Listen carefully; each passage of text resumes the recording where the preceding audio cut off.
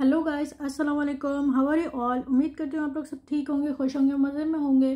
सो so, आज की video में हम लोग डिस्कस करने वाले हैं दुबई के बेस्ट प्लेसेस और वैसे तो दुबई की बेस्ट प्लेसेस अगर जितनी भी वीडियो बना ली जाए वो ख़त्म नहीं होने वाले क्योंकि दुबई की सारी जगहें बहुत प्यारी हैं। जो लोग मेरे न्यू सब्सक्राइबर्स हैं उनको नहीं पता होगा कि हम लोग दुबई में पहले रह चुके हैं और बहुत कम टाइम रहे हैं लेकिन वही वाली बात है कि मैं दुबई की बहुत ज़्यादा फ़ैन हो चुकी हूँ क्योंकि हम लोग मेन सिटी में मौजूद थे दुबई में। और काफ़ी अच्छी जगह इसी वजह से मुझे लगी। तो हम लोगों ने तो काफ़ी आराम आराम से विज़िट किया है सारी जगहें, क्योंकि हम लोग वहाँ रहते थे। लेकिन जो लोग वहाँ रहते नहीं हों विज़िट करने जा रहे हो तो उनके लिए मैं कंपाइल करूँगी सारी चीज़ें कि कौन कौन सी जगहें उनको विज़िट करनी चाहिए और कौन सी फ्री जगह हैं और कौन सी चार्जेस लगती हैं, वो सारी वीडियो में हम डिस्कस करने वाले हैं ये बातें। So without wasting a time let's go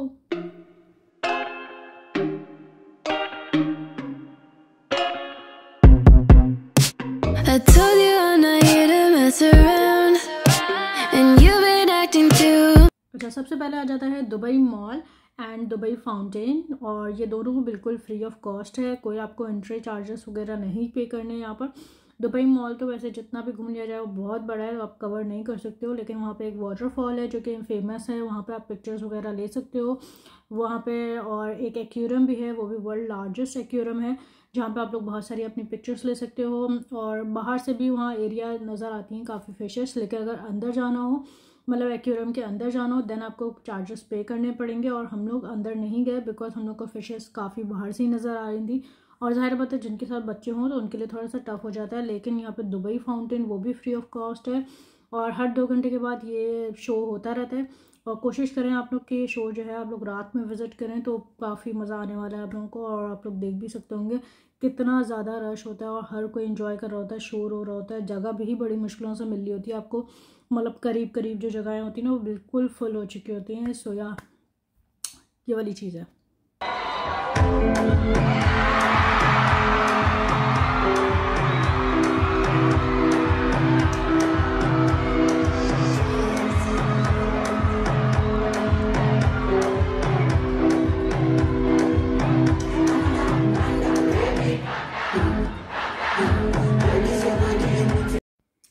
अब आ जाता है ब्लू वाटर और ब्लू वाटर एक बहुत ही न्यू जगह यहाँ पे खुली है और यहाँ पे शिप्स इस तरह से चलती हैं। शिप्स के अलग चार्जेस होते हैं, लेकिन वैसे ये फ्री ऑफ़ कॉस्ट जगह है।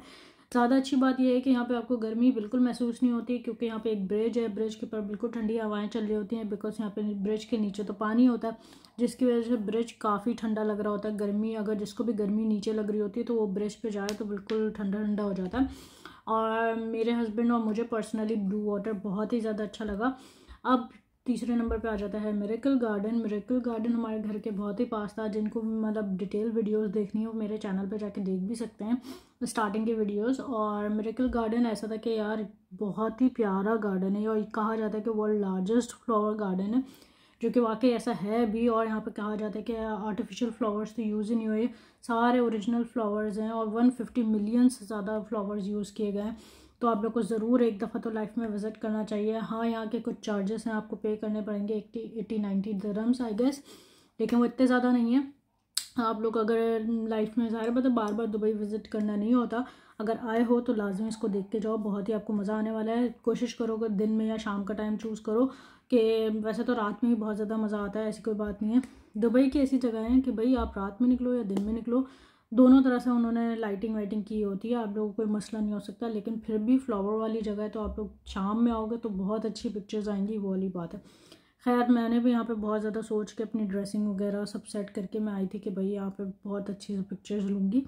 लेकिन हम लोग को आते आते थोड़ी सी रात हो गई थी बिकॉज़ हम लोग एज़ यूजल हम लोग रहते हैं, रहते थे मतलब दुबई में तो निकलते निकलते घर का काम करते करते एज़ यूजल लेट हो जाता है।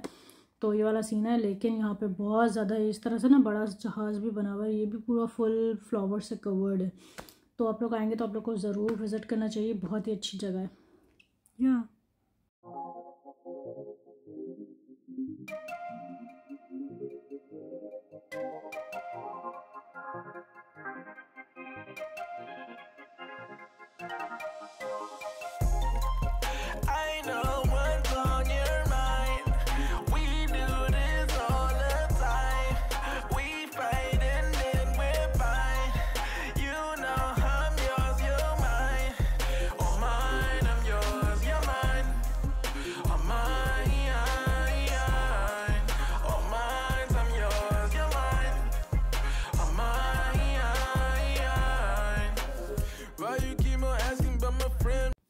ये तो समझ लें, शायद कह सकते हैं कि सबसे ज़्यादा प्यारी जगह है और ये है दुबई मरीना।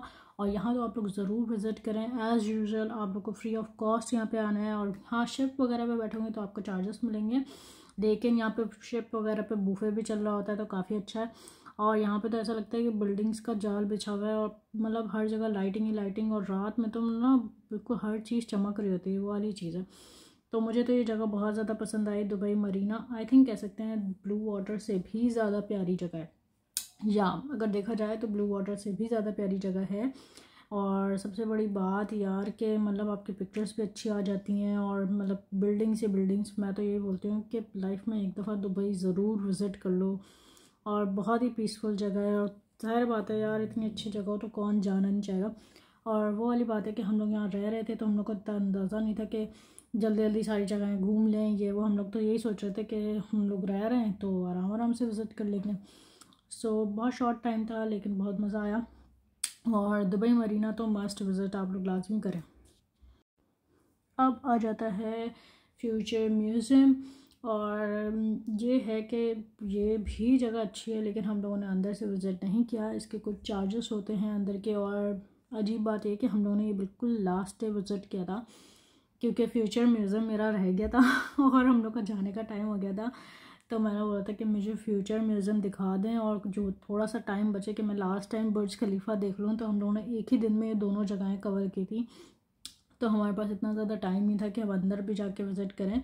लेकिन ये था कि अंदर जाना फ़र्स्ट फ्लोर पर जाना यहाँ पे कॉस्ट ऑफ़ फ्री है। मतलब आप लोगों को कोई चार्जेस पे नहीं करने। और ये बात मुझे उस वक्त आइडिया नहीं था, मुझे पता नहीं था अदरवाइज़ मैं अंदर भी जाती।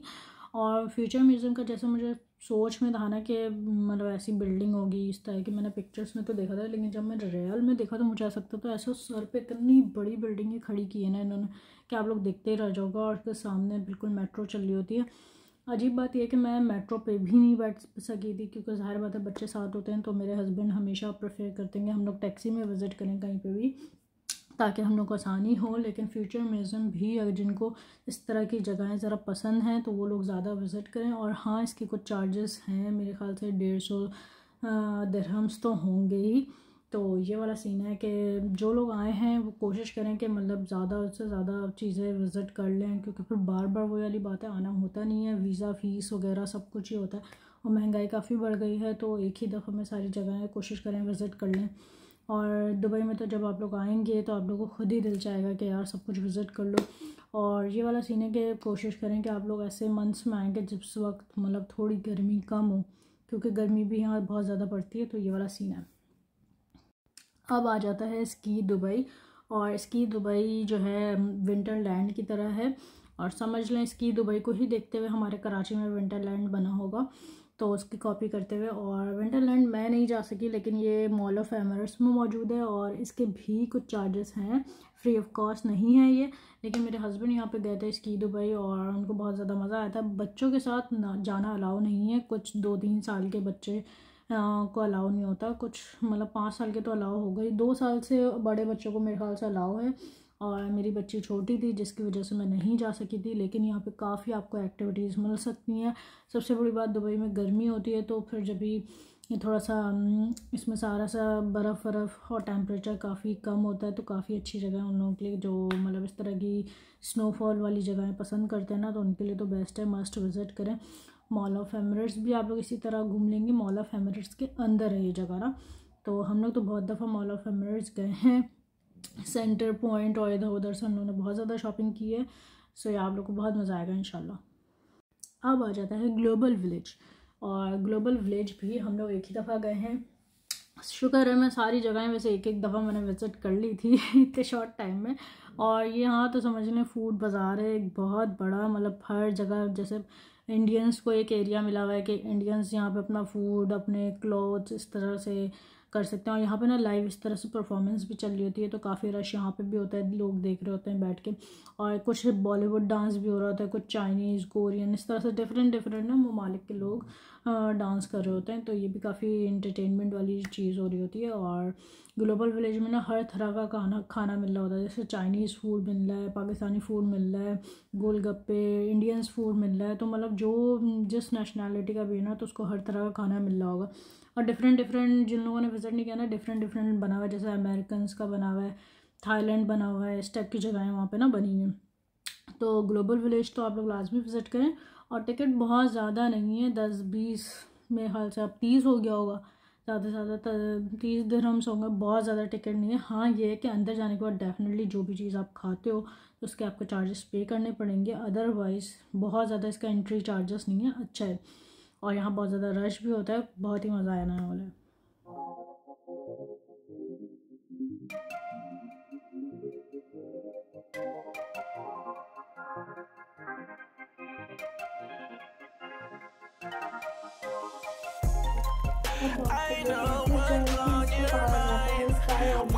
है और ये जिन लोगों को एक्टिविटीज़ करना थोड़ी सी पसंद है तो वो लोग विज़िट कर सकते हैं। अच्छा हम लोगों ने ना बुर्ज खलीफा के अंदर जो टॉप फ्लोर पे जाते हैं, हम लोगों ने वो जगह विज़िट नहीं की थी।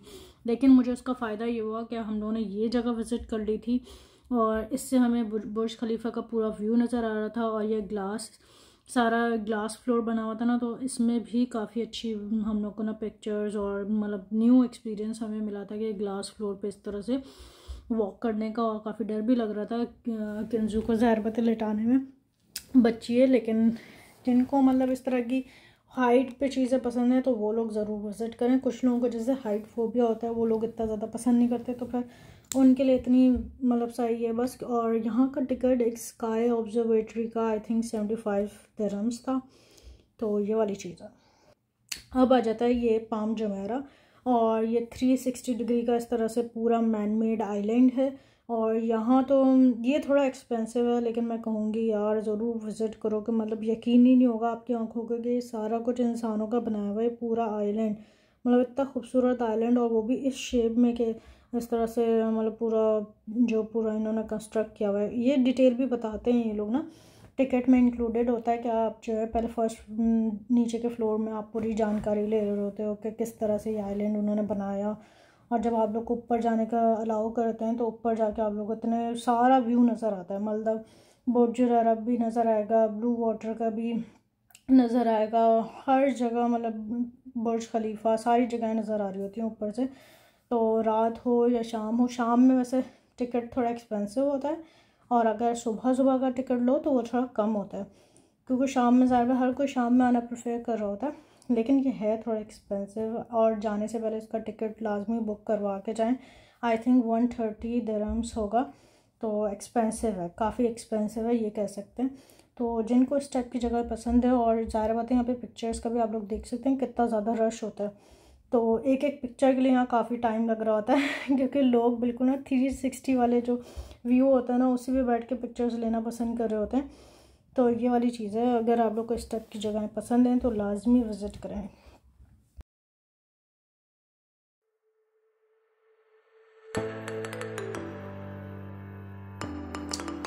सो बेसिकली दुबई की वैसे जितनी भी प्लेसेस कवर कर लिए जाएँ, वो कम हैं, कह सकते हैं कि मतलब बहुत ज़्यादा लंबी वीडियोस हो सकती हैं, क्योंकि दुबई की हर जगह ही बहुत प्यारी है। तो और कुछ चीज़ें रहती भी हैं, जैसे जुमेरा बीच और कुछ फ़ेमस जगहें भी रहती हैं। ऐसा नहीं है कि मैंने अपनी वीडियो में पूरा कवर कर लिया, क्योंकि वीडियो बहुत ज़्यादा लंबी हो रही थी। अभी भी काफ़ी लंबी हो चुकी है। वीडियो अच्छी लगी तो प्लीज़ लाइक एंड सब्सक्राइब करना मत भूलिएगा। मुझे अपनी दुआओं में याद रखिएगा। तब तक के लिए अल्लाह हाफ़ टेक केयर लव यू और बाय